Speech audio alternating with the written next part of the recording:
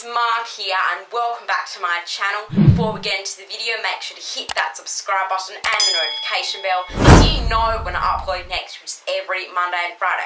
So in today's video, I'm going to be doing another tag. This time I'm going to be doing the New Year Look Back tag. So what this is, is a look back on previous year, 2020, and what we want to do in 2021.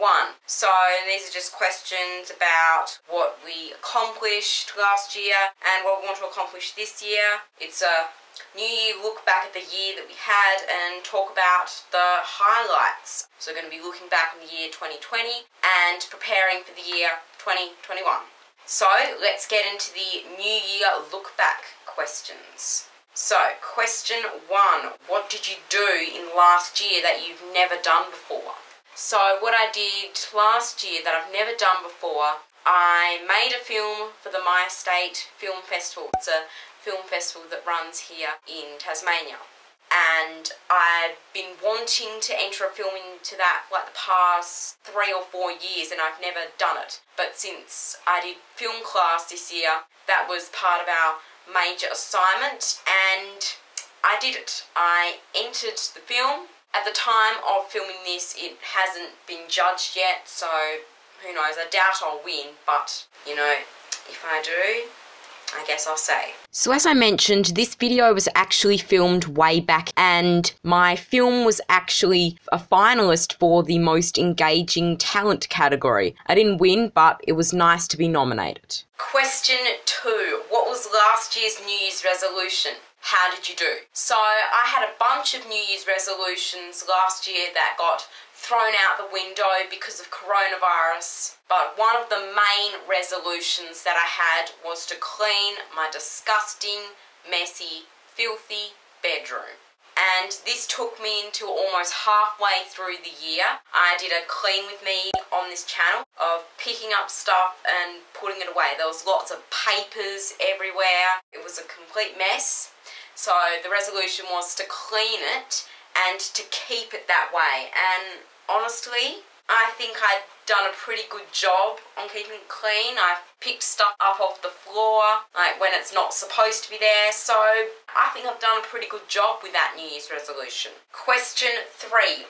What would you like to have accomplished last year that you didn't get to do? So, one of the things that I was really looking forward to and was hoping to accomplish was to do the Point to Pinnacle, which is like a walk up near the mountain, and it's like 20 something kilometers, and it's got some uphill areas, and it can be very hard. I mean, it's a lot of kilometers to walk, and that was one of my main goals that I want to do because the year before last I actually did the Point to Pub, which is a shorter version, but last year I wanted to push myself to actually do the walk and I didn't get to because it got cancelled because of coronavirus. So that was the one thing I wanted to accomplish and I didn't get to.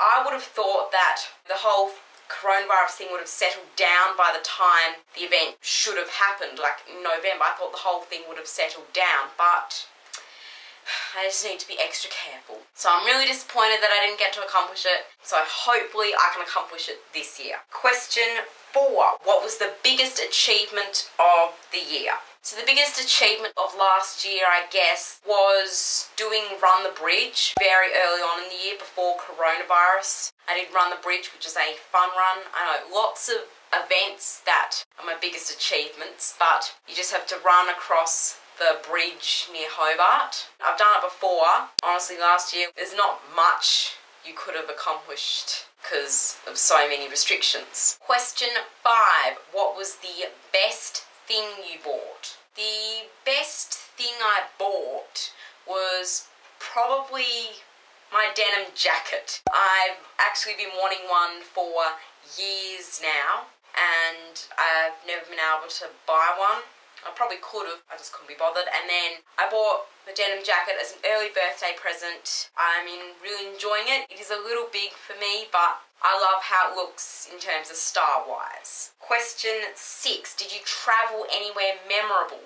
Well, we couldn't go traveling much last year, but I did vlog some of the road trips that I went on. I did go on some road trips after coronavirus. I went to Bridport, Bicheno, and Port Arthur. So literally all of those were memorable. Honestly can't pick a favourite. Bridport we did more stuff. Bicheno we barely did anything. Port Arthur, yeah, I guess was just in between. So all of those places, Bridport, Bicheno, Port Arthur, all of them were memorable. Question seven.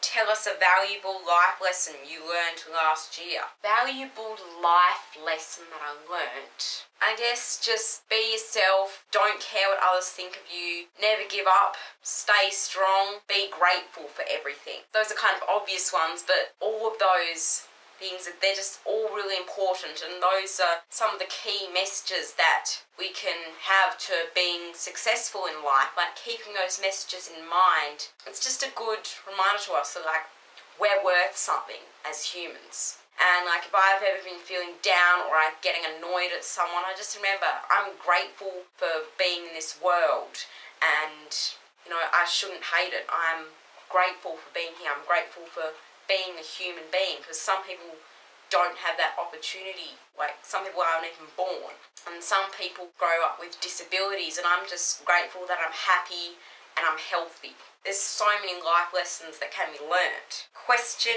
eight: If you could look back on one memory this year you wish you could relive, what would it be? I mean, I guess last year was a. It definitely wasn't the best year, uh, but I guess I really do not know. As I said, I'm not the best person at picking favourites. Like, I'm not sure there's any memories of last year that I would particularly like to relive. Well, I mean, the holidays, the road trips to Bridport, Bicheno, and Port Arthur, they were good and I enjoyed those. All the good times that I had last year, I can't really answer that one in full excessive detail. I'm really sorry about that. Question nine, if you could change anything about the year you had, what would it be? Well, obviously I would love to change coronavirus happening, but you know, you can't really control that.